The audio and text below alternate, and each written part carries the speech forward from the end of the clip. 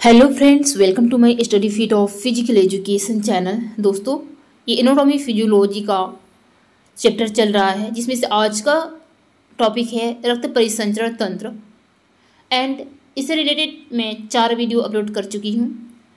And सभी physical education exams के लिए सभी चीज़ें मोस्ट इंपॉर्टेंट हैं. सभी एग्ज़ाम्स के जो अभ्यर्थी हैं, यहाँ पर प्रैक्टिस कर सकते हैं. और जैसा कि आपका अठारह अगस्त को जो उत्तराखंड का एग्ज़ाम है इससे पहले मैं पूरा कोशिश कर रही हूँ कि आपको टॉपिक पूरा कर दूँ। फिर भी आप अपनी सेल्फ स्टडी पर भी ध्यान दीजिएगा। और चलते हैं आज के क्वेश्चंस की तरफ़। क्वेश्चन है, मानव शरीर का सबसे व्यस्त अंग कौन सा है? दोस्तों, आप जानते हैं कि जीवन प्रयत्न कौन काम करता है? तो सबसे व्यस्त अंग होता है हमारा हृदय। क्वेश्चन नंबर टू है कि हृदय की सबसे बाहरी परत को क्या कहते हैं? तो दोस्तों हृदय जो है तीन मांसपेशियों की दीवारों से बना होता है। तीन परतों से। पहला बाहरी परत होता है एपी कार्डियम मध्य परत होता है मायोकार्डियम एंड आंतरिक परत होता है एंडोकार्डियम। तो जो एपीकार्डियम होता है, वो पेरिकार्डियम के तीन परतों से बना होता है, जिसके बीच में सेरस नामक पदार्थ भरा रहता है। जो हृदय की बाहरी आघातों से रक्षा करता है और हृदय स्पंदन में सहायता करता है। तो एपिकार्डियम जो है, वो पेरिकार्डियम के तीन पौधों से बना होता है। यहाँ पे एपिकार्डियम नहीं दिया है तो पेरिकार्डियम आपका राइट आंसर हो जाएगा। ऑप्शन नंबर सी यहाँ पे राइट होगा।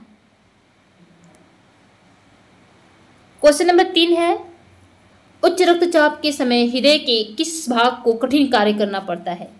दोस्तों, जानते हैं कि जो हृदय में चार चेंबर होते हैं, ऊपर के दो चेंबर, यानी दो कोष्टक में को अलिंद और नीचे के दो कोष्टक को निलय कहते हैं।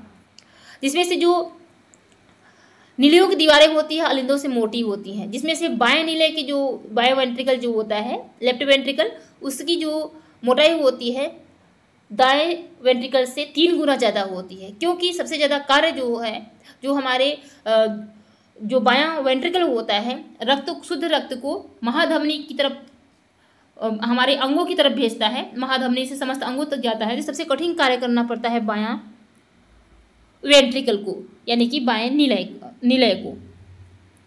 ठीक है? राइट आंसर हो जाएगा option number A question number four है, कि सिस्टोलिक और डायस्टोलिक दबाव के बीच के अंतर को क्या कहते हैं? दोस्तों, इन दोनों के बीच के अंतर को हम पल्स रेट कहते हैं। सिस्टोलिक या डायस्टोलिक के बीच के अंतर को पल्स रेट बोला जाता है, जो हृदय की कार्य क्षमता को प्रदर्शित करता है। और जो पल्स रेट होता है, सामान्य नाड़ी दाब वो तीस से पचास एम एम के बीच होता है।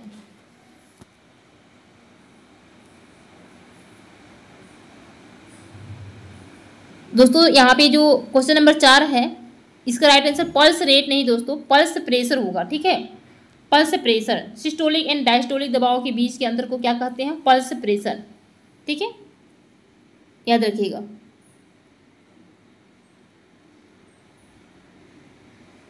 क्वेश्चन नंबर फाइव है, कौन ब्लड बैंक की तरह कार्य करता है? दोस्तों, जैसा कि आप जानते हैं, जो हमारे रक्त का निर्माण होता है, जो हड्डियों के जो खोखले भाग होते हैं, जिसे हम हैवर्सियन नाल कहते हैं, उसमें बोन मैरो होता है। बोन मैरो के जो कोशिकाएँ होती है, उससे जो है आरबीसी या रक्त का निर्माण होता है। लेकिन जो भ्रूणावस्था में होता है भ्रूणावस्था में रक्त का निर्माण यकृत के द्वारा होता है। और ये इसका अपवाद जो है, लेकिन इसका विघटन जो है, समस्त कोशिकाओं का विघटन या सफ़ाई का कार्य लाइसोसोम करता है। लेकिन जो ब्लड में होता है आरबीसी में होता है लाइसोसोम नहीं पाया जाता है। इसलिए वो जा करके कहाँ मरता है? प्लीहा में। स्प्लीन में। इसलिए स्प्लीन यानी प्लीहा को ब्लड बैंक कहा जाता है, या ब्लड का कब्रिस्तान भी कहा जाता है। क्वेश्चन नंबर छः है, लाल रक्त कोशिकाओं का उत्पादन कहाँ होता है? अभी जस्ट में बताई, अस्थि मैरो यानी बोन मैरो में होता है। ठीक है? याद रखिएगा, वयस्क अवस्था में बोन मैरो में और भ्रूणावस्था में या कृत में इसका निर्माण होता है। क्वेश्चन नंबर सेवन है, लाल रक्त कणिकाओं का निर्माण होता है अभी जस्ट बताई हूँ, अस्थि मज्जा यानी बोन मैरो में होता है। क्वेश्चन नंबर आठ है, चोट लगने पर रक्त को जमाने का कार्य कौन करता है? तो दोस्तों, चोट लगता है तो रक्त को जमाने का कार्य करता है हमारा प्लेटलेट्स जिसे थ्रोम्बोसाइट कहते हैं वैज्ञानिक भाषा में। आरबीसी को एथ्रोसाइट डब्ल्यूबीसी को लीकोसाइट एंड प्लेटलेट्स को थ्रोम्बोसाइट वैज्ञानिक भाषा में कहा जाता है। याद रखिएगा, ये रक्त को जमाने में कार्य करता है। और कौन सा रक्त को जमाने में कार्य करता है? जो हमारे प्लाज्मा के अंदर पाया जाता है, protein albumin globulin prothrombin and fibrinogen. इसमें से प्रोथोम्बिन एंड फाइब्रोनोजन जो होता है, वो रक्त को जमाने में सहायता करते हैं प्लेटलेट्स के साथ। और जिसका निर्माण होता है प्रोथोम्बिन एंड फाइब्रोनोजन का यकृत में। ये भी याद रखिएगा। नेक्स्ट क्वेश्चन है। क्वेश्चन नंबर नाइन है। चोट लगने पर रक्त स्त्राव को रोकने एवं रक्त जमने में कौन सा तत्व सहायक होता है? तो आप जानते हैं दोस्तों। प्लेटलेट्स तो यहाँ पे राइट आंसर हो जाएगा। प्लेटलेट्स को हम वैज्ञानिक भाषा में कहते हैं थ्रोम्बोसाइट थ्रोम्बोसाइट यहाँ पे राइट आंसर हो जाएगा। जैसा कि आप जानते हैं, जो हमारे शरीर के अंदर एक पदार्थ होता है हिपेरिन जिसका निर्माण होता है यकृत में। हिपेरिन क्या करता है? हमारे शरीर के अंदर रक्तवाहिनी, रक्तवाहिनियों में शरीर के अंदर रक्त को जमने नहीं देता, तरल अवस्था में रखता है। लेकिन जैसे ही हम कटते हैं तो वायु के संपर्क में आते ही जो हिपेरिन होता है, वो प्रभावहीन होता है और रक्त को जो जमाने वाले पदार्थ हैं, वो एक्टिव हो जाते हैं। इसलिए रक्त जम हो जाता है।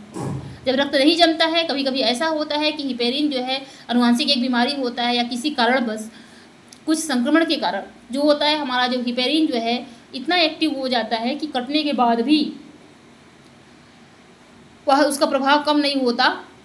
तो रक्त बहता रहता है, रक्त रुकता ही नहीं है, जिसे हीमोफोलिया हीमोफीलिया कहते हैं, अनुवांशिक बीमारी। क्वेश्चन नंबर दस है। निम्न में से ए, रक्त को निम्न में से रक्त से कौन संचालित होता है? तो दोस्तों, रक्त में sodium chloride, sodium bicarbonate, magnesium, iron and glucose fat urea uric acid creatine cholesterol amino acid oxygen carbon dioxide सभी चीज़ें एंजाइम एंटीजन सभी चीज़ें जो है रक्त के द्वारा ही तो हमारे कोशिकाओं तक पहुँचते हैं। तो यहाँ पे आपका राइट आंसर हो जाएगा एंजाइम भी है ऑक्सीजन भी है हार्मोन भी है, उपरोक्त सभी यहाँ पे राइट आंसर हो जाएगा। क्वेश्चन नंबर ग्यारह है मानव में सामान्य धड़कन दर कितना होता है? यानी हार्ट रेट की बात कर रहा है तो हृदय दर कितना होता है? बहत्तर प्रति मिनट होता है। आप सबको मालूम है। तो यहाँ पे बहत्तर प्रति मिनट होता है, ऐसे साठ से अस्सी होता है। ठीक है? क्वेश्चन नंबर बारह है, मनुष्य, वयस्क मनुष्य में नब्ज दर का रेंज कितना होता है? बीट पर मिनट। जो हार्ट रेट होता है दोस्तों, साठ से अस्सी होता है। कितना होता है? साठ से अस्सी तो यहाँ पे उसके रेंज में आपका हो जाएगा सत्तर से अस्सी पर मिनट क्वेश्चन नंबर तेरह है, हमारा हृदय एक मिनट में कितनी बार धड़कता है? तो वही वही क्वेश्चन जो है घुमा फिरा के पूछा है, बहत्तर से पचहत्तर बार पर मिनट क्वेश्चन नंबर चौदह है, मानव हृदय में एक मिनट में कितनी हार्ट बीट्स होते हैं? यानी हार्ट रेट कितना बार धड़कता है? तो बहत्तर बार. क्वेश्चन नंबर पंद्रह है, मनुष्य के हृदय को एक बार धड़कने में कितना समय लगता है? तो दोस्तों, बहत्तर में अगर आप साठ का गुणा करेंगे तो आपका आ जाएगा। बहत्तर, साठ में बहत्तर का जो भाग देंगे तो ज़ीरो पॉइंट एट सेकेंड आपका राइट आंसर हो जाएगा। Zero point eight second. तो एक हृदय के, मनुष्य के हृदय को एक बार धड़कने में कितना समय लगता है? तो ज़ीरो पॉइंट एट सेकेंड लगता है।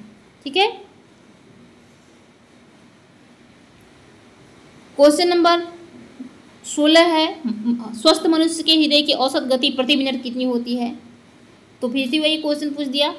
तो बहत्तर से सत्तर से अस्सी बार होता है। तो यहाँ पे आपका उपरोक्त में से कोई नहीं, आपका राइट आंसर हो जाएगा। कोई नहीं दिया हुआ है। क्वेश्चन नंबर सत्रह है कि एक पूर्ण हृदय स्पंद, जिसमें एक पट और एक अनुशीलन होता है, उसकी अवधि कितनी होती है? तो दोस्तों जो हमारा बायां निलय जो हमारा निलय होता है,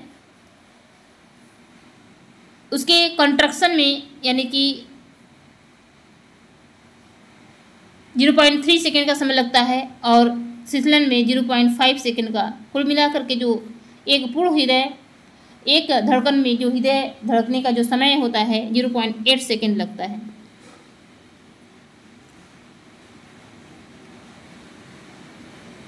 क्वेश्चन नंबर अठारह है, एक रक्त की बूंद में कितने सेल्स होते हैं? तो पचास हज़ार यानी कि पाँच बिलियन मिलियन सेल्स होते हैं एक रक्त की बूंद में। क्वेश्चन नंबर उन्नीस है, लाल रक्त कोशिकाओं में कौन सा तत्व ऑक्सीजन एवं कार्बन डाइऑक्साइड के वाहक का कार्य करता है? तो दोस्तों, आप जानते ही हैं, वो होता है हमारा हीमोग्लोबिन ठीक है? हीमोग्लोबिन जो है ऑक्सीजन के परिवहन का काम करता है। तो ये कहाँ पे पाया जाता है? लाल रक्त कोशिकाओं में। और जैसे कि रक्त अशुद्ध जो है, शुद्ध रक्त धमनियों में बहता है, अशुद्ध रक्त सिराओं में बहता है। लेकिन पल्मोनरी धमनी में अशुद्ध रक्त बहता है। पल्मोनरी धमनी जो है, अशुद्ध रक्त लेकर के जाता है फेफड़ों में। आप फेफड़ों से ऑक्सीजन लेकर के रक्त शुद्ध हो जाता है और कार्बन डाइऑक्साइड को फेफड़ों में दे देता है, जिसके द्वारा फेफड़ों से बाहर आ जाता है। तो फिर हीमोग्लोबिन जो है, ऑक्सीजन को ग्रहण करके ले जाता है हमारी कोशिकाओं तक। क्वेश्चन नंबर बीस है।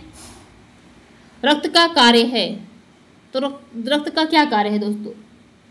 रक्त का जो है, कार्य होता है ऑक्सीजन को आपूर्ति करना एवं वृद्धि कारकों को ले जाना। जितने भी पदार्थ है, सबको कोशिकाओं तक पहुंचाना का काम होता है। इनमें से ये दोनों आपका राइट आंसर हो जाएगा option number C question number इक्कीस है, धमनियाँ रक्त ले जाती हैं। तो धमनियाँ जो है, रक्त किसको ले जाती हैं दोस्तों? हृदय से हमारे शरीर के अंगों कोशिकाओं तक ले जाती हैं, ठीक है? और हृदय से, ठीक है? अब अगर पूछेगा, सिराएँ सिराएँ रक्त कहाँ ले जाती हैं? हमारे अंगों से अशुद्ध रक्त को हृदय में ले जाती हैं। और धमनियाँ कहाँ ले जाती हैं? शुद्ध रक्त को हृदय से हमारे अंगों तक। क्वेश्चन नंबर बाईस है, शरीर में धमनियों का कार्य क्या होता है? तो अभी जस्ट में बताई, हृदय से शुद्ध रक्त को समस्त अंगों तक पहुंचाता है तो धमनियों का कार्य क्या होता है? तो धमनियों का कार्य होता है हृदय से रक्त ले जाना। क्वेश्चन नंबर तेईस है, धमनी के अंदर पाए जाने वाले रुधि का रंग कैसा होता है? धमनी में शुद्ध रक्त बहता है तो शुद्ध रक्त का रंग जो है लाल होता है। सिराओं में अशुद्ध रक्त बहता है तो उसका नीला होता है। याद रखिएगा, धमनियों में शुद्ध रक्त बहता है, लेकिन पलमोनरी धमनी में अशुद्ध रक्त बहता है, अपवाद है। और ये भी याद रखिएगा कि सिराओं में अशुद्ध रक्त बहता है, लेकिन पलमोनरी सिरा में शुद्ध रक्त बहता है। क्वेश्चन नंबर चौबीस है, हृदय वाहिनी के किस हिस्से में रक्त के बहाव की गति सबसे कम होती है? तो दोस्तों, जैसे कि बायां निलय से रक्त, शुद्ध रक्त पंप होकर के जाता है महाधमनी में महाधमनी से उसकी छोटी छोटी शाखाएँ पड़ती हैं, जिसे धमनी कहते हैं। धमनियों के भी विभिन्न शाखाएँ पड़ जाती हैं, जिसे केसिका भी केसिका कहा जाता है। तो सबसे कम गति जाकर के हो जाती है केसिका ये पतली पतली धाराएँ, वाहिनियाँ होती हैं। ठीक है? जिसे कैपलरीज कहते हैं। क्वेश्चन नंबर पच्चीस है। हैवी एक्सरसाइज करते समय रक्त का प्रवाह बढ़ता है। तो दोस्तों, जब आप हैवी एक्सरसाइज करते हैं तो आपके स्केलेटल मसल्स की तरफ़ रक्त का प्रवाह बढ़ता है जिससे आपके शरीर के अंदर लालिमा एंड एक अलग सा साइनिंग आता है तो जैसे कि हैवी एक्सरसाइज करते समय विश्राम के समय जो है रक्त की लगभग पंद्रह से बीस परसेंट धारीदार मांसपेशी स्केलेटल मसल्स की पूर्ति करता है। जबकि हैवी एक्सरसाइज कर रहे हैं तो उस समय कुल रक्त प्रवाह 80 से पचासी परसेंट हमारे स्केलेटल मसल्स की हो जाती है। क्वेश्चन नंबर छब्बीस है सिस्टोलिक ब्लड प्रेशर होता है। तो दोस्तों, जैसे कि आप जानते हैं, जो ब्लड प्रेशर होता है, जो बाएँ निलय के द्वारा रक्त शरीर की तरफ़ जो है भेजा जाता है तो उस समय धमनियों पर जो दबाव पड़ता है, उसी को हम ब्लड प्रेशर कहते हैं। तो जब हम, जब हृदय रक्त को, जब बाया निलय कंट्रैक्ट कंट्रैक्ट होता है, और उस समय जो रक्त जो है शरीर की तरफ़ भेजा जाता है महाधमनी में तो उस समय धमनियों पर जो दाब पड़ता है, उसे हम सिस्टोलिक ब्लड प्रेशर कहते हैं, जिसका मान 120 होता है। एंड जब बयानीले कॉन्ट्रैक्ट शिथिलन अवस्था में होता है, उसमें रक्त भरता है सिरा से तो उस समय जो दाब या गुंजन धमनियों पर हल्का सा दाब पड़ता है, उसको डायस्टोलिक ब्लड प्रेशर कहते हैं, जो 80 होता है। तो 120 से 80 होता है ब्लड प्रेशर तो यहाँ पे किसके द्वारा होता है? हार्ट मसल्स यानी कि जो हमारी हृदय की मांसपेशियाँ हैं, उसके द्वारा होता है। राइट आंसर ए हो जाएगा। तो जो ये हमारा ब्लड प्रेशर होता है 120 180 एम एम एच जी होता है, यानी सिस्टोलिक रक्त दबाव 120 एम एम एच जी और डायस्टोलिक जो है रक्त दबाव 80 एम एम एच जी होता है। हाइपरटेंशन या अन्य कारणों से रक्त दबाव अत्यधिक बढ़ जाने से हृदय, मस्तिष्क तथा गुर्दों को हानि पहुँच सकता है। क्वेश्चन नंबर सत्ताईस है। वेंट्रिकल से प्रति मिनट निष्कासित रक्त की मात्रा को क्या कहते हैं? आरटीएम मतलब अलिंद और वेंट्रिकल मतलब निलय। तो निलय से जो प्रति मिनट रक्त हमारे शरीर के अंगों तक भेजा जाता है, पंप किया करता है, प्रति मिनट जो निलय होता है, वेंट्रिकल, उसे हम करते हैं कार्डियक आउटपुट। क्या कहते हैं दोस्तों? Cardiac output. लेकिन याद रखिएगा, कार्डियक आउटपुट को ज्ञात करने का सूत्र होता है, स्ट्रोक वॉल्यूम गुड़े हार्ट रेट।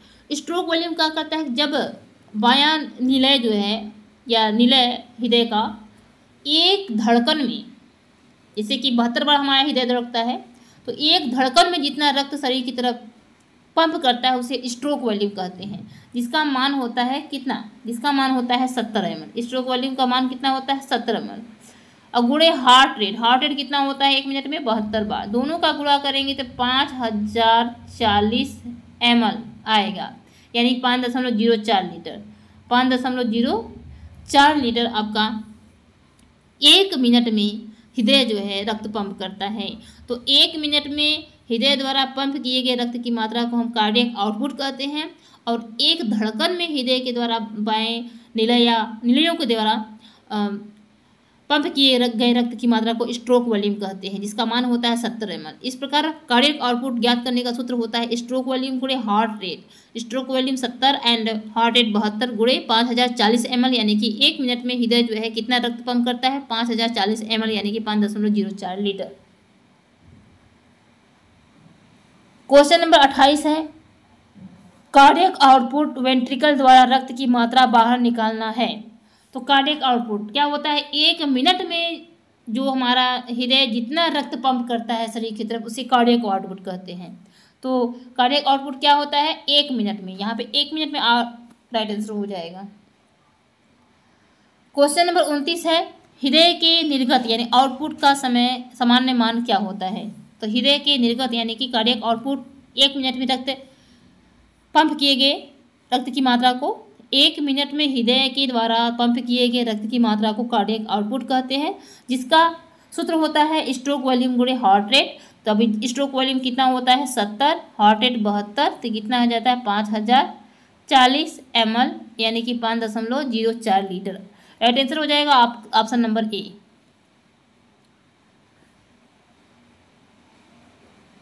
ठीक है, यहाँ पे आप देख सकते हैं, यहाँ पे सूत्र दिया हुआ है। क्वेश्चन नंबर तीस है। निलय से आने वाले प्रति मिनट, यानी प्रति यूनिट रक्त की मात्रा को क्या कहते हैं? तो क्या कहते हैं? हृदय आउटपुट, यानी कार्डियक आउटपुट। ठीक है? क्वेश्चन नंबर इकतीस है कि स्ट्रोक आयतन तथा हृदय गति का उत्पाद होता है। अभी जस्ट मैं बताई हूँ कि स्ट्रोक आयतन, यानी कि स्ट्रोक वॉल्यूम गुड़े हार्ट रेट क्या होता है? किसका? सूत्र है तो कार्डियक आउटपुट का। ठीक है?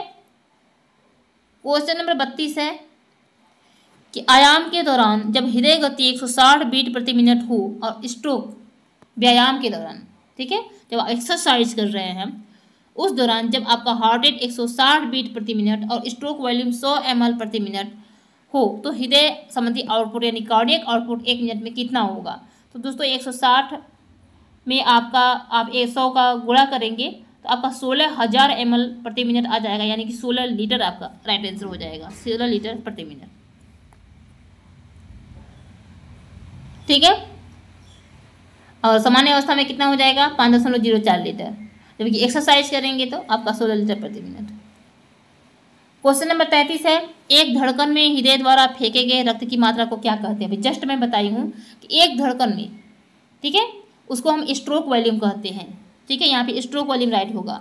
अब एक मिनट में हृदय द्वारा फेंके गए रक्त की मात्रा कहेगा तो कार्डियक आउटपुट और एक धड़कन में कहेगा तो स्ट्रोक वॉल्यूम कितना मान होता है इसका? सत्तर एम क्वेश्चन नंबर चौंतीस है, रक्त किस वर्ग को, किस रक्त वर्ग के व्यक्ति को सर्वदाता कहते हैं? तो दोस्तों, रक्त वर्ग ओ को सर्वदाता यूनिवर्सल डोनर कहते हैं। अगर पॉजिटिव नेगेटिव यानी आई फैक्टर की बात करेगा तो ओ नेगेटिव जो है आपका सर्वदाता होता है, याद रखिएगा। अगर उस तरह से पूछेगा तो पॉजिटिव नेगेटिव नेक्स्ट है, रक्त वर्ग ओ समूह को कहते हैं तो सर्वदाता कहते हैं दोस्तों यूनिवर्सल डोनर जैसे कि ओ को सर्वदाता और ए बी को सर्वग्राही, और उसके अलावा जो बचता है रक्त वर्ग चार ग्रुप में बांटा गया है, A A B, O, A B A B, O, ठीक है? तो ए ए को दे सकता है, ठीक है? ए किसका किसका रक्त ले सकता है? ए वाले का और ओ वाले का। बी किसका ले सकता है? बी वाले का और ओ वाले का, क्योंकि ओ सर्वदाता है। और जो ए बी है, सबका ले सकता है। क्वेश्चन नंबर छत्तीस है। कौन सा रक्त समूह यूनिवर्सल डोनर है, यानी कि सर्वदाता है तो ओ है। कौन सा है? ओ है।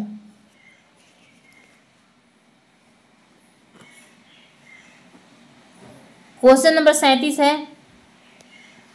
ग्रुप ए रक्त वाले व्यक्ति को किस ग्रुप का रक्त दिया जा सकता है? तो ए को ए देगा और सर्वदाता जो है ओ देगा। ठीक है? तो ए को किस ग्रुप का व्यक्ति रक्त दिया जा सकता है? तो ए वाला देगा, ओ वाला देगा, ठीक है? क्वेश्चन नंबर अड़तीस है। रक्त क्या है?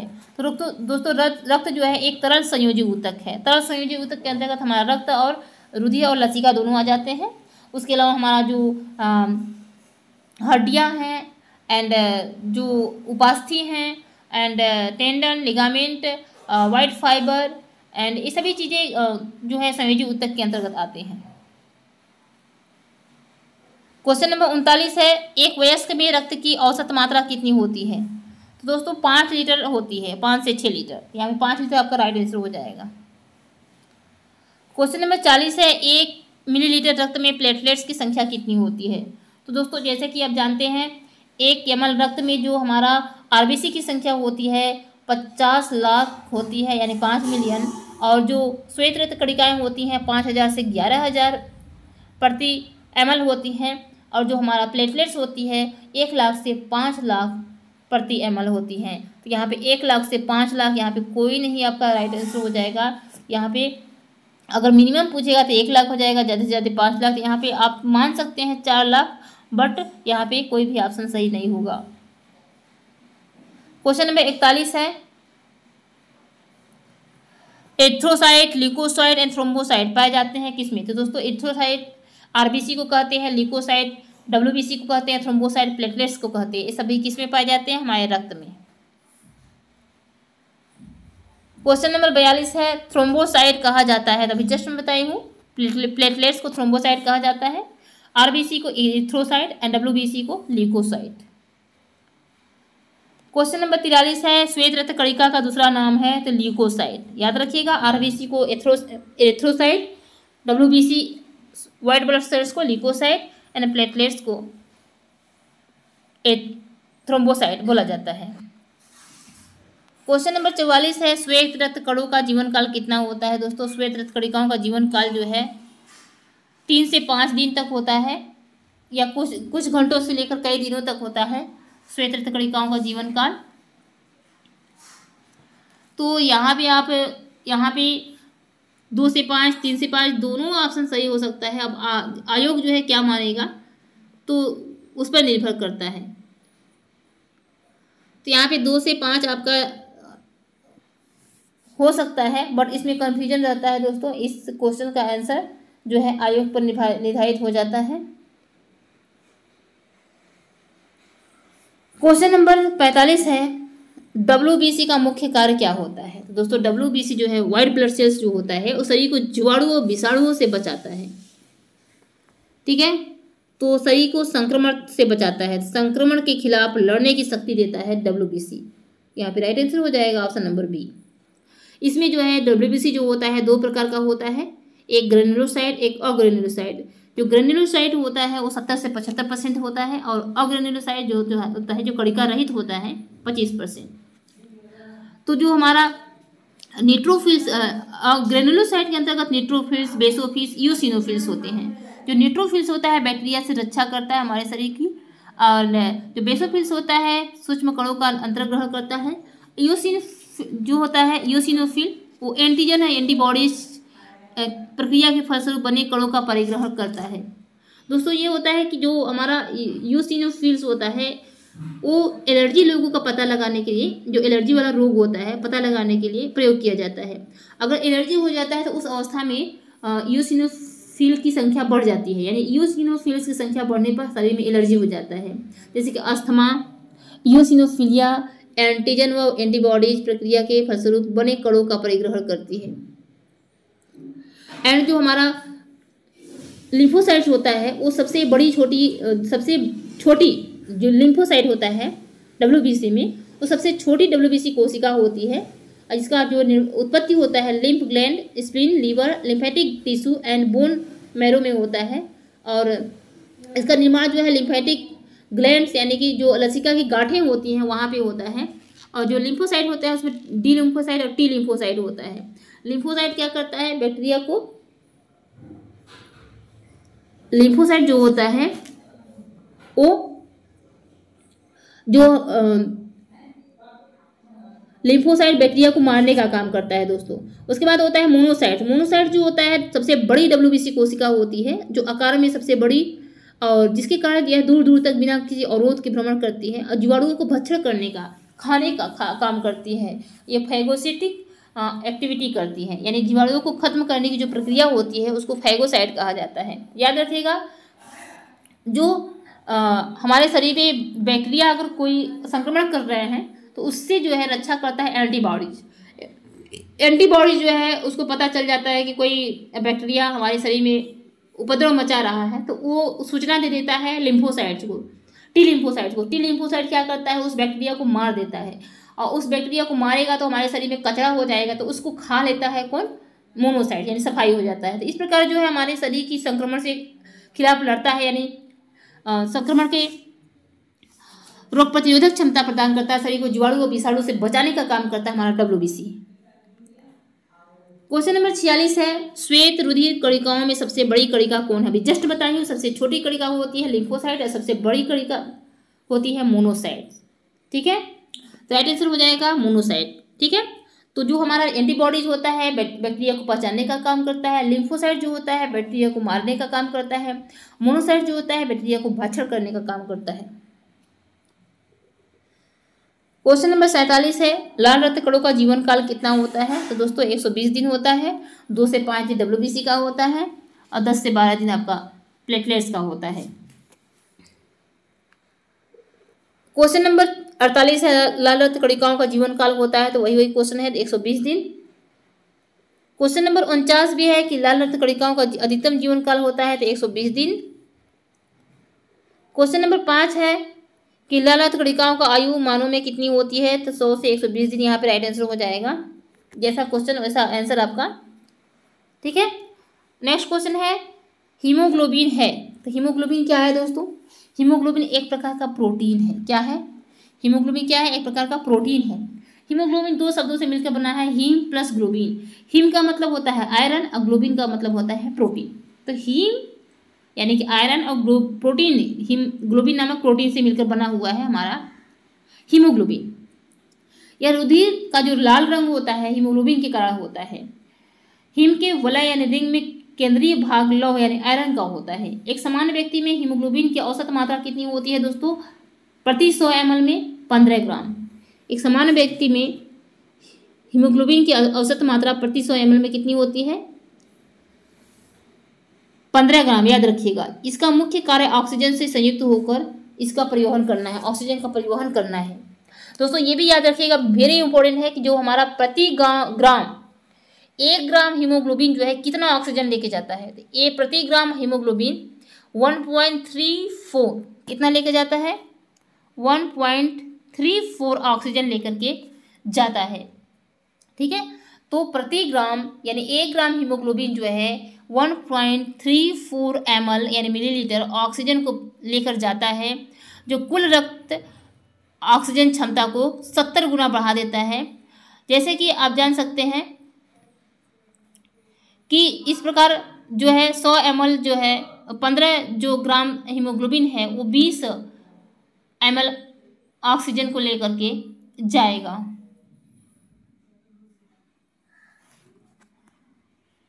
क्वेश्चन नंबर बावन है हीमोग्लोबिन का कार्य है। तो हीमोग्लोबिन का क्या कार्य है दोस्तों? इसका है ऑक्सीजन को आकर्षित करना, उसको ले जाना। क्वेश्चन नंबर तिरपन है। मानव शरीर में लाल रक्त कणों की मात्रा शरीर के रुधिराणु का कितना परसेंट होता है? तो दोस्तों, जैसा कि आप जानते हैं, हमारा जो रक्त है, उसको दो पार्ट में डिवाइड किया गया है। प्लाज्मा और रक्त कणिका ठीक है? प्लाज्मा जो द्रवी भाग होता है, चिपचिपा पदार्थ, हल्का पीला रंग का, सफ़ेद कलर का, और दूसरा होता है ब्लड सेल्स यानी कि कठोर पदार्थ। जो प्लाज्मा, जो द्रवी भाग होता है, वो रक्त का पचपन परसेंट भाग होता है। जो कड़िका वाला भाग होता है, जिसमें आरबीसी सी एंड प्लेटलेट्स होता है, वो रक्त का पैंतालीस परसेंट भाग होता है। लेकिन उसमें भी जो हमारा जो आर बी सी होता है, वो पूरे रक्त का चालीस परसेंट होता है और रुधिर कड़िका का अट्ठासी परसेंट होता है। तो रुधिराणु का कितना पूछेगा? तो अट्ठासी परसेंट। पूरे रक्त का तो चालीस परसेंट, याद रखिएगा। क्वेश्चन नंबर चौवन है कि सामान्य स्थिति में हृदय से आने वाले रक्त का कितना प्रतिशत यकृत को प्राप्त होता है? तो दोस्तों, जैसा कि हम जानते हैं कि जो रक्त पंप होता है हृदय से हृदय से आने वाले रक्त जो है, शुद्ध रक्त जो धमनियों से समस्त शरीर में जाता है।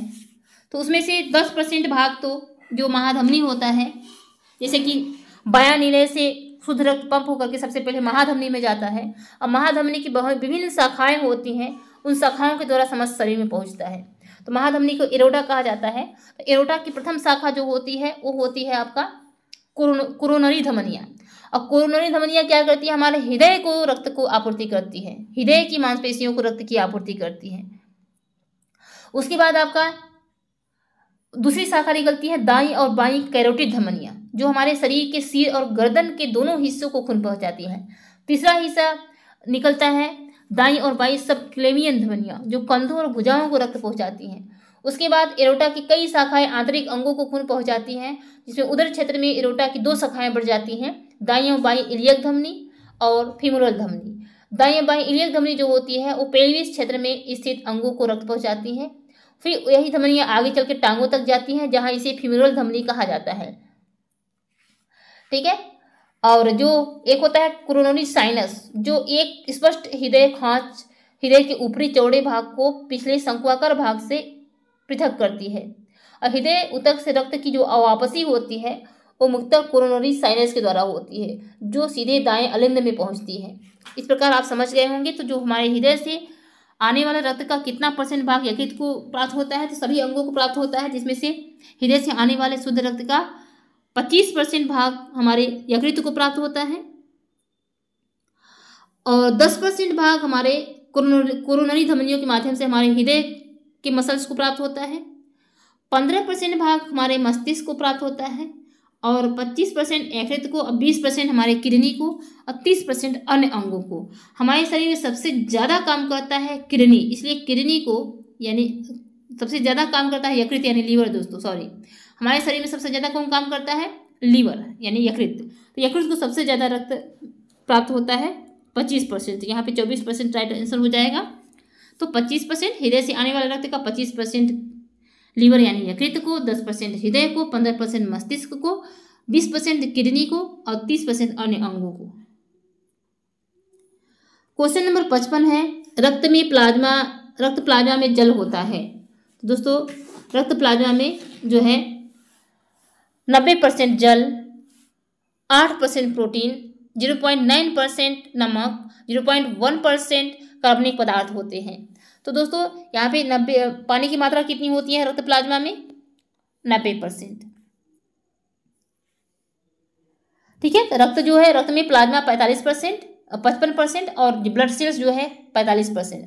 जिसमें से प्लाज्मा जो है हल्के पीले रंग का क्षारी द्रव होता है, जो प्रोटीन की उपस्थिति के कारण रक्त अर्ध तरल चिपचिपा सा बना रहता है। प्लाज्मा का कार्य क्या होता है?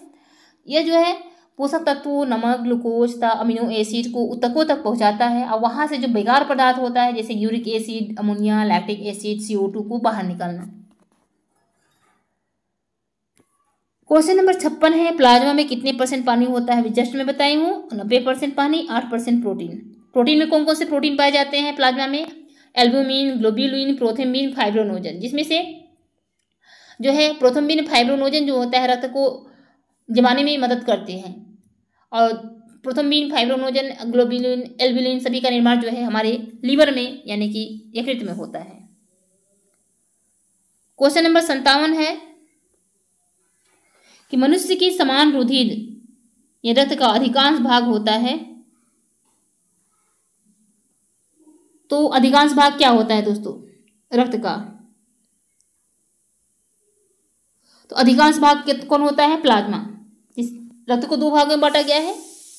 Plasma and blood cells. Plasma पचपन परसेंट भाग होता है द्रवी भाग और ब्लड सेल्स जो है पैंतालीस परसेंट भाग होता है। ब्लड सेल्स के अंतर्गत RBC WBC and blood place आता है। क्वेश्चन नंबर अंठावन है, खून का तरल भाग होता है, तभी जस्ट बताई हूँ, जो प्लाज्मा होता है द्रवी भाग यानी तरल भाग होता है, ब्लड सेल्स जो होता है, वो कठोर भाग होता है। प्लाज्मा जो द्रवी भाग होता है, पूरे रक्त का पचपन परसेंट भाग होता है, और जो ब्लड सेल्स होता है, कठोर भाग होता है आरबीसी डब्ल्यूबीसी प्लेटलेट्स ये रक्त का पैंतालीस परसेंट भाग होता है। यहाँ पे खून का तरल भाग कौन सा होता है दोस्तों? तो ये हमारा राइट आंसर हो जाएगा प्लाज्मा। क्वेश्चन नंबर उनसठ है, अधिक ऊंचाई पर जाने के बाद प्रथम कुछ दिनों के दौरान किस भौतिक यानी शारीरिक परिवर्तन के अनुभव की करने की संभावना होती है? तो दोस्तों, जैसे कि हम अधिक ऊंचाई पर जैसे जाते हैं, ऑक्सीजन का लेवल कम होता जाता है, ठीक है? इसलिए रक्तचाप जो है वो बढ़ेगा, ज़्यादा हमको मेहनत करना पड़ेगा ऑक्सीजन लेने के लिए हार्ट बीट बढ़ेगा तो रक्तचाप भी बढ़ेगा तो ऐसा इसलिए होता है क्योंकि पहाड़ों पर या अधिक ऊंचाई पर ऑक्सीजन की जो है मात्रा वातावरण में कम होती है, जिससे शरीर में अधिक ऑक्सीजन की पूर्ति हेतु हृदय को ज़्यादा काम करना पड़ता है, हृदय गति बढ़ जाती है। इस प्रकार बढ़ा हुआ रक्तचाप यहाँ पे होने की संभावना आपका राइट आंसर हो जाएगा। Option number B question number साठ है। हृदय गति का रुकना किन रोगियों में आम बात है?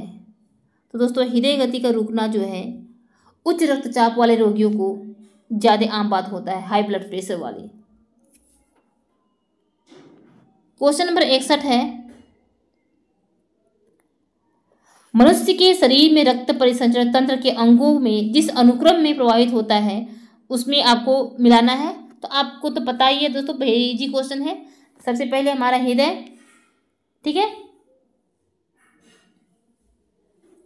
सबसे पहले हृदय हृदय के बाद हमारा महाधमनी महाधमनी के बाद धमनी फिर केसिका में जाता है। तो वन, टू, थ्री, फोर आपका राइट आंसर हो जाएगा। Option number B question number बासठ है। यहाँ पे आपको मिलान करना है, जिसे ग्लूकोज हीमोग्लोबिन डायफ्राम हृदय। तो ग्लूकोज क्या हो जाएगा दोस्तों? ये हमारे रुधिर सरकरा होता है। एंड हीमोग्लोबिन क्या होता है? ये लाल रक्त कणिकाओं में पाया जाता है। डायफ्राम क्या होता है? ये श्वास की पेशी होती है। जो हमारे फेफड़ों के नीचे फेफड़ा जो है डायफ्राम पर स्थित होता है। एंड हृदय क्या होता है? ये हृदय ही होता है। यहाँ पे राइट आंसर क्या हो जाएगा? Option number A question number तिरसठ है कि हृदय चारों ओर से घिरा होता है। किसके द्वारा दोस्तों? हृदय तीन मांसपेशियों से बना होता है। एपीमाइसियम मायोकॉर्डियम एपी एपिकॉर्डियम, मायोकार्डियम एंड एंडोकार्डियम। तो जो हमारा हृदय होता है, किससे घिरा होता है? एपिकार्डियम से। एपिकार्डियम जो है, पेरिकार्डियम की तीन परतों से बना होता है। इसलिए एपिकार्डियम नहीं दिया है, यहाँ पे पेरिकार्डियम आपका राइट आंसर हो जाएगा। क्वेश्चन नंबर चौंसठ है कि शरीर रचना एनाटॉमिकल भाषा में, हृदय के मांसपेशी को क्या कहते हैं? तो शरीर रचना यानी एनाटॉमिकल भाषा में दोस्तों हृदय मांसपेशी को मायोकॉडियम कहा जाता है।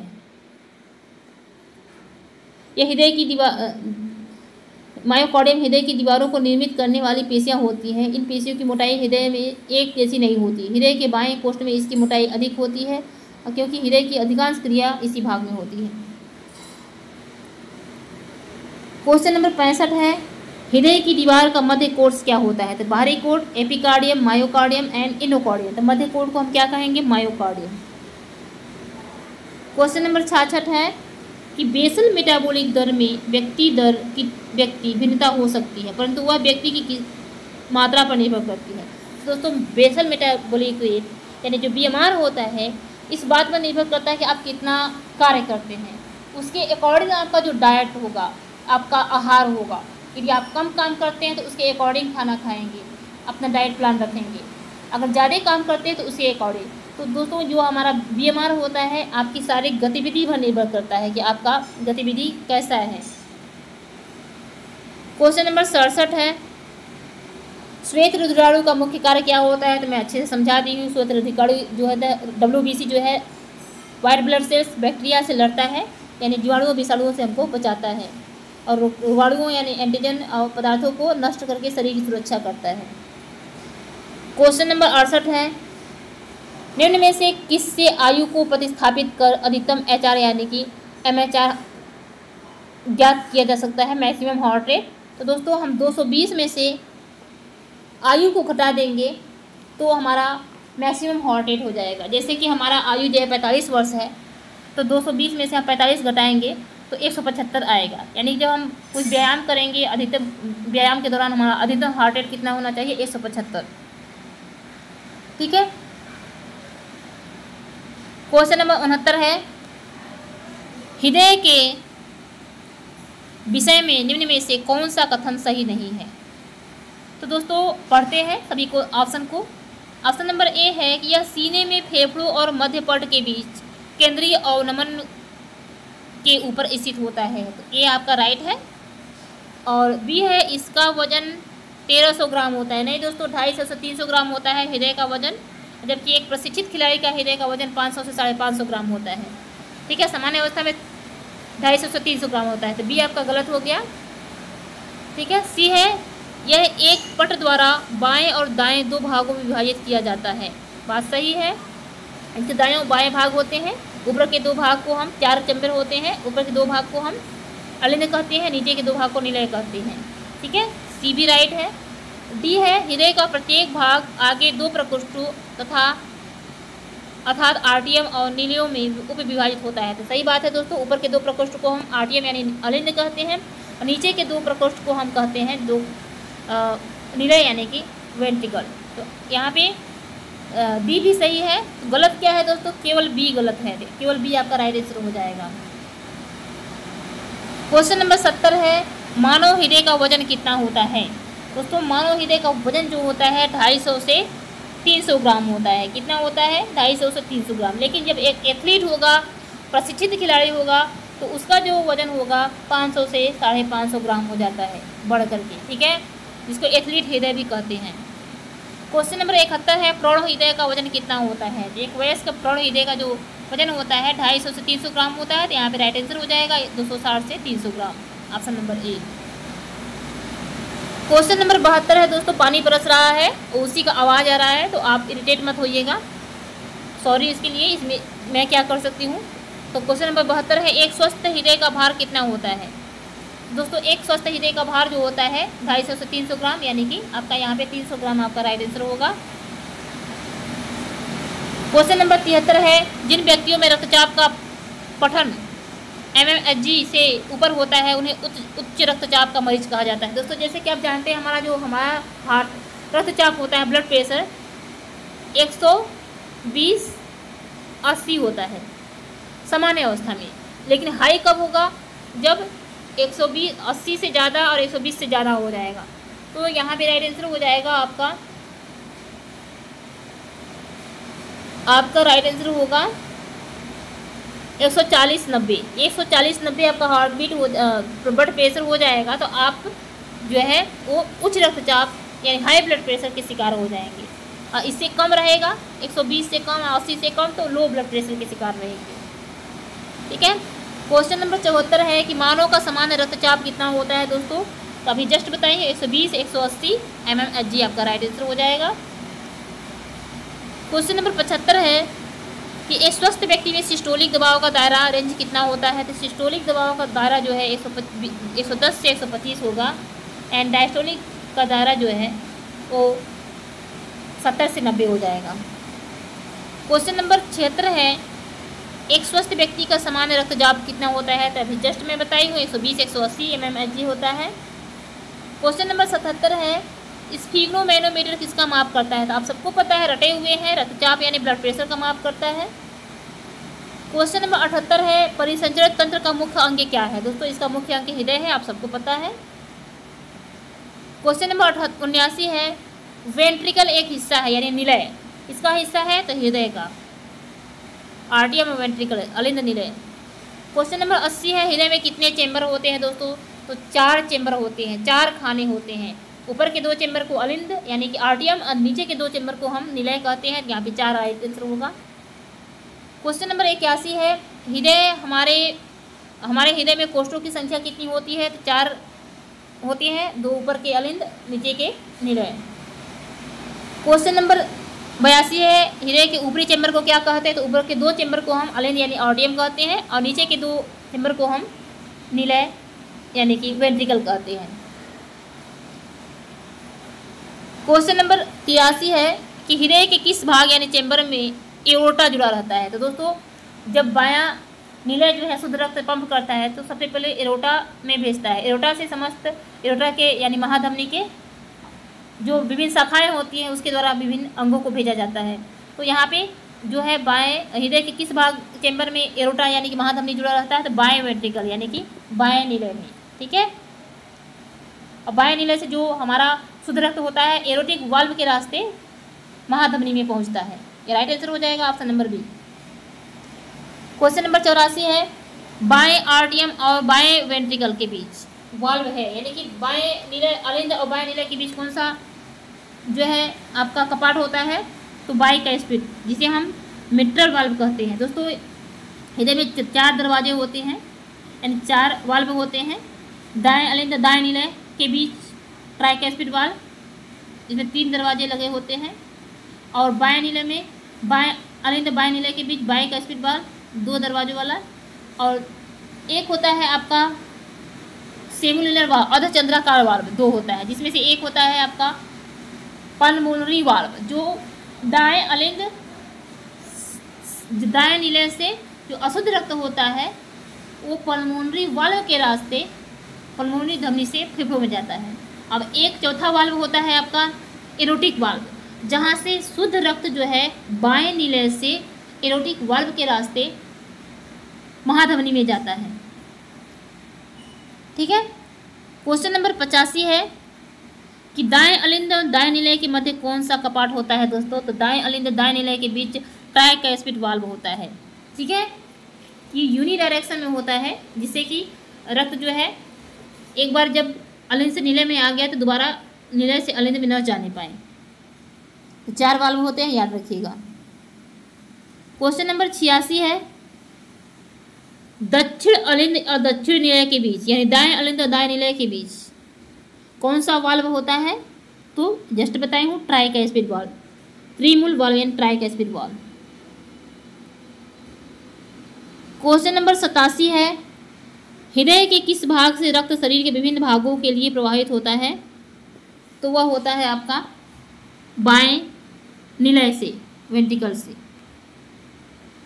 क्वेश्चन नंबर अठासी है पूरी शरीर में रक्त को पंप करने वाले हृदय के अंग का नाम है तो वो होता है आपका लेफ़्ट वेंट्रिकल यानी कि बाएँ नीले बाएँ नीले ही आपको शुद्ध रक्त को समस्त शरीर में भेजता है, क्योंकि हृदय के दाएँ भाग में अशुद्ध रक्त बहता है और बाएँ भाग में शुद्ध रक्त, ठीक है?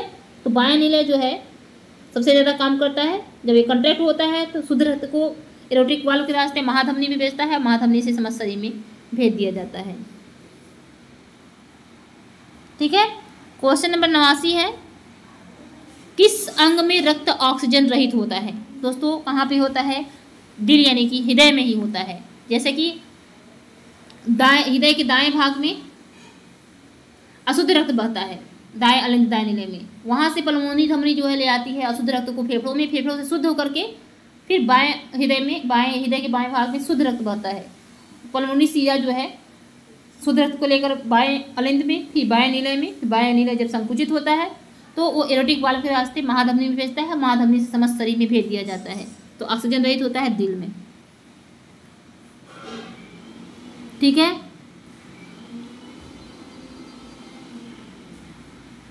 अगर दोस्तों, यहाँ पे अगर वेन या वेन रहेगा, यानी सीधा रहेगा तो सीधा में आपका राइट आंसर होगा। लेकिन यहाँ पे सीधा नहीं दिया है। नेक्स्ट क्वेश्चन है। कि हृदय की दाहिनी नीलय वेंट्रिकल से रक्त बहता है।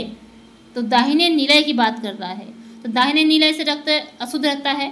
तो अशुद्ध रक्त दाहिने नीलय से पलमुनी वाल्व के रास्ते, पलमुनी धमनी से होता हुआ फेफड़ों में जाता है। तो यहाँ पे राइट आंसर हो जाएगा आपका फुफ्फुस धमनी यानी कि पलमोनरी धमनी में। क्वेश्चन नंबर इक्यानवे एंड लास्ट क्वेश्चन है आज के सेशन का, कि अपने अपने खेलों में अपने अपने खेलों में अच्छे प्रदर्शन दिखाने तथा उपलब्धि प्राप्त करने के लिए कौन से खिलाड़ी बीटा ब्लॉकर्स का प्रयोग करते हैं, जिससे रक्तचाप में कमी आती है तथा एकाग्रता बढ़ती है? तो दोस्तों बीटा ब्लॉकर्स ऐसा होता है कि आपके शरीर के कंपन को कम कर देता है जिससे एकाग्रता वाले जो खेल होते हैं, उसमें अच्छा परफॉर्मेंस होता है। यहाँ पे तीरंदाजी एंड निशानेबाजी आपका राइट आंसर हो जाएगा। ऑप्शन नंबर सी तो दोस्तों, ये था रक्त परिसंचरण तंत्र से रिलेटेड मोस्ट इंपॉर्टेंट क्वेश्चन जो आपके एग्ज़ाम्स में पूछे जा सकते हैं। एक क्वेश्चन है दोस्तों कि एक क्वेश्चन आता है कि ब्रेडी कार्डिया और टैकी कार्डिया क्या है? तो जब हम आराम कर रहे होते हैं तो उस दौरान स्थिति हमारी हार्ट रेट जो होती है साठ से सौ बार प्रति मिनट हो सकता है। बट जब ब्रेडिकार्डिया का होता है कि हृदय गति सामान्य से अगर कम हो जाए, यानी साठ से कम प्रति मिनट में हृदय गति आपका हो तो ऑक्सीजन युक्त रक्त पंप नहीं कर पाता है। तो ब्रेडिकार्डिया एक गंभीर समस्या हो सकती है, उसे ब्रेडिकार्डिया कहेंगे। अगर साठ से कम एक मिनट में धड़क रहा है तो। अगर टैकिकार्डिया क्या होता है, हृदय गति सामान्य से ज़्यादा अगर हो जा रहा है, सौ से ज़्यादा प्रति मिनट हो जा रहा है सामान्य स्थिति में तो उसे हम टैकिकार्डिया कहते हैं। तो दोस्तों, ये था आज के सेशन का ब्लड सर्कुलेशन से रिलेटेड। आई होप कि सभी क्वेश्चन आपको समझ में आए होंगे। और दोस्तों अपने दोस्तों तक भी वीडियो को शेयर कीजिएगा, जिससे उन लोगों तक उन लोगों तक भी ये वीडियो पहुँच सके। तो मिलते हैं नेक्स्ट वीडियो प्रैक्टिस में। तब तक के लिए जय हिंद।